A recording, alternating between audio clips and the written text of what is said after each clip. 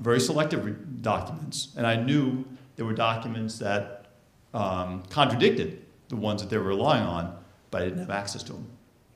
So I had no way effectively of defending myself with the actual documentation because I didn't have them.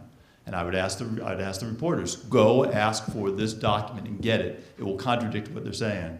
And for whatever reason, they didn't do it. Either they couldn't or they weren't responsive. So uh, that's certainly a decision I, I think I, in hindsight, I shouldn't have made. Further questions? JW? And what Jan was talking about, I just want to talk about the, uh, you know, the San Diego Police Department is wrestling now with the badges and what to do with it. Mm-hmm. They've met with some of the media talking about what is, but our, even our own uh, organization, the Society of Professional Journalists, wrestles with it. What's an audience? Is 10 people an audience? Is 100 people an audience? Is 1,000 people an audience?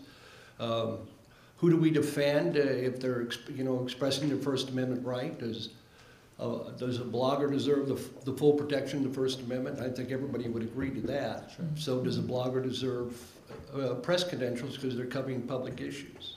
I think they're talking about not issuing press credentials. And so everyone, civilians, everyone who responds to, let's say, an OIS, an officer involved shooting, um, and that garners a lot of press attention. Our two deputies who were shot this last September, um, the world caved in on that. So we do, by definition, have a perimeter, and then we have an area for the media, and then everyone else is out this way. Now, is it fair? Because at that point, because there won't be press credentials, to have the media out here with the civilians vying for the attention of, of the PIOs. It doesn't seem, if I were a journalist, it doesn't seem fair to me to have you all out here and you have a lot of different personalities in the world out there, and depending on the area of San Diego you go, um, it could be a little more difficult than others. So I'm curious to what really some of you think. If you think that press credentials are still a good thing, if we should do it, um, should the criteria for that, for SDPD, change for them to issue that? I, I don't know. I toss it back. Um, Is it the service to the public, I guess? Is it, is it something that, that you all would say in your organizations, well, this person is reaching an audience that I need to reach? Is that the criteria? I think that could be. I, I think that what our role as a PIO is to use that one person who has the greatest reach to the community to get our story out. Uh, there's someone in the community that's I'm in good company and being sued with the sheriff and Bonnie Dumanis and the PD and everybody else because he says his rights have been denied and that he um, did not have his press credential renewed. Okay, we've got time for a couple more quick questions. Uh, Professor Dean Nelson, question? We've got a question for each of you. Um, since we have a lot of aspiring journalists in the audience, what advice would you give them for, um, for pursuing their craft? It's important to be a skeptic. It's important to ask tough questions, but don't become a cynic because I think once you do, you will lose sight of your craft and the important purpose that you hold in making sure a participatory democracy works by informing the participants, not swaying them, informing them. So try to resist cynicism because I think it's increasingly prevalent throughout the media and frankly throughout the country. It may be a chicken egg kind of thing. And I think that's the greatest thing you can do for yourself and for the, the craft that you aspire to enter into. Don't, don't fall into that, that culture. Great, thank you. Jan?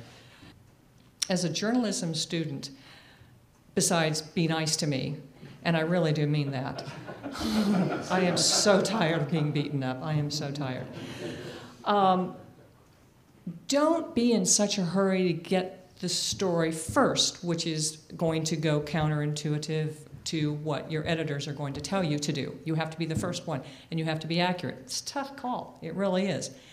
If it's first or accuracy, be accurate. I had um, a reporter recently with um, the North County Times, now Union Tribune, that did a story on drones and did not get the facts right and quoted uh, a congressman's white paper and didn't read it and quoted those facts in there. And I downloaded the, I think, 80 page thing, read it, culled out all the things referred to the sheriff's department that he referred to, and they were wrong. And I called him back on it nicely. Of course, once it's printed once, you have the big story. This is like the Waco story in Texas. Building burning, FBI agents set it ablaze, everybody's dead, and then after the investigation's over, a few years later, B section buried underneath the ad for hemorrhoid cream. Oh, well, they actually didn't set the place on fire. So I talked to him about that and said, This is, you know, here I'm pointing on page this and on page that. And uh, he challenged me on it. And he never did do a retraction. And to be honest, I moved on to something else. So, long end of that story is be nice to me, research, be accurate.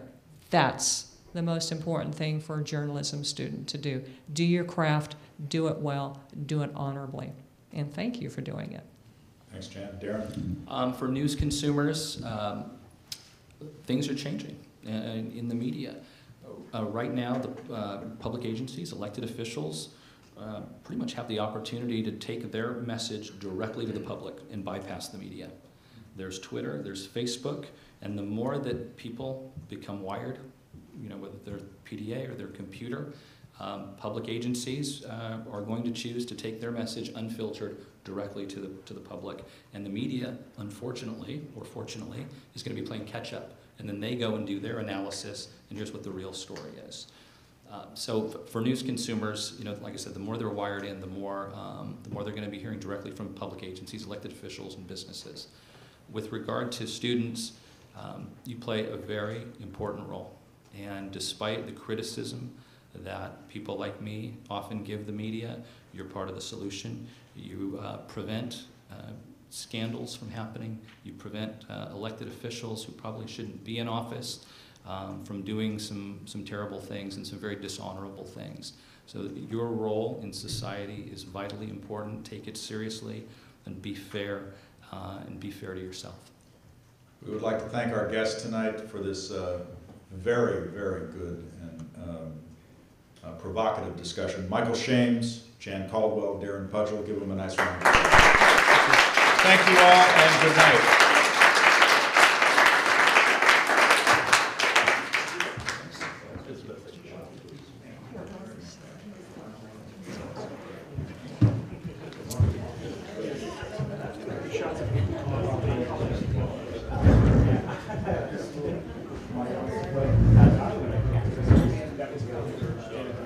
Yeah, but, yeah, I should have been anticipating.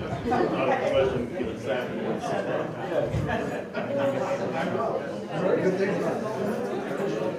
afternoon.